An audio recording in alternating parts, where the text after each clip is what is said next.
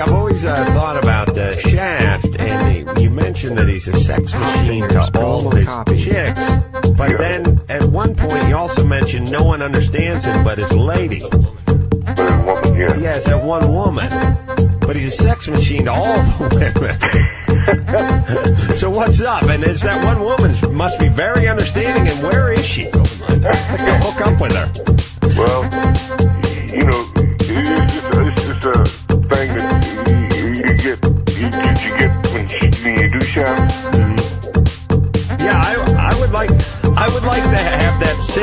with my wife where I'm like, listen, I'm going to be a sex machine to all the, the chicks, but no one's going to understand me like you. So always have that going.